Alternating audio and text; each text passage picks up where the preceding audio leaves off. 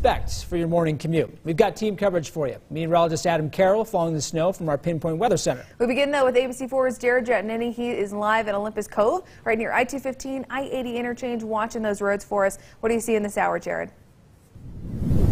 Well, a steady stream of snow coming down. Take a look. We have this uh, desk here that John sets up for me to mark my place because I move around a lot. It's this uh, light, fluffy snow, but it compacts into this hard stuff that uh, I don't really know if it's the best kind of snowball uh, weather for this uh, material because this will hurt. Someone throws it at you. Maybe some people deserve it. I don't know. Take a look.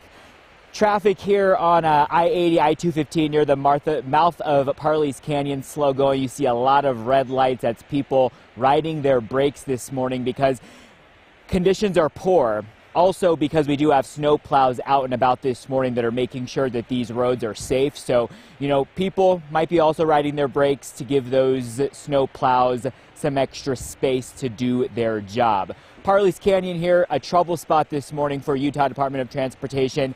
The traction law is in effect up Parley's Canyon, so four-wheel, all-wheel, or chains, which are required. You can put those chains on towards the right as you are heading up the canyon. Safety, top priority, folks, this morning, be mindful. The Utah Highway Patrol responded to 309 weather-related crashes since Saturday. So since that first storm rolled in, that was the latest numbers we got yesterday evening. Again, you can see the snow is coming down. The morning commute has picked up ever so slightly. It's slushy, wet, poor visibility, any other adjective you want to use to describe this snowstorm. Uh, so be, be mindful as you're heading out this morning. We expect a lot of folks to be traveling up Parley's Canyon, which is already heavily trafficked, but driving up the canyon to take advantage of all the fresh snow.